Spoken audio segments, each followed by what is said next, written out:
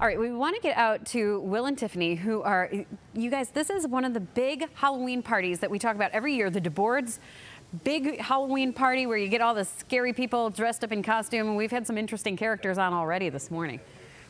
Yeah, Maureen, we're going to uh, kind of shelf that for a second and talk about the food because that's what a lot of people go down here for as well. We are at the food truck here with Eddie from Eddie's. Uh, you, know, you guys started uh, 25 years ago making pizza pies, but now you've moved on to cheesesteaks and you make a pretty mean cheesesteak. Somehow we morphed into cheesesteaks. Uh, actually, we really started making them 25 years ago, true story, in the pizza shops. But uh, as time went on, somehow we ended up in Panama City uh, about 10 years ago. It exploded down there, and I thought, why not make cheesesteaks for Akron, Ohio? And it keeps the story keeps on going. All right, build one of these for me. Show me what, what goes into an Eddie's famous cheesesteak here. Well, first of all, it's 100% real sirloin steak. I'm not sure that everybody out there is going to be uh, making them just like this.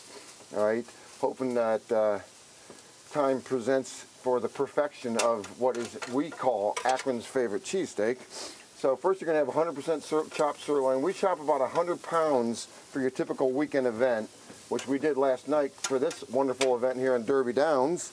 And we're also actually tonight at the Hartville Marketplace uh, out there in Hartville. They got a moonlight over Hartville, and that's pretty cool. They got all kinds of vendors coming from all over. So we're going to be doing these things here in a few hours. I see peppers, onions, I'm mushrooms. Do some peppers, onions, mushrooms. I'm not sure what you guys like, but I'm putting on what I think I like. Okay. Look at that. We're going to steam it up. So we got sauteed onions, green mushrooms, green peppers. We're going to put on some. we don't do the whiz, by the way. Sorry about that. We don't do the whiz. That's okay. we do real cheese. I, I, when people ask me, do we do whiz? I say, is it all right if we do real cheese? so there you go. And then here's the key, though. All that very key. An Amoroso roll, which is actually from Philadelphia.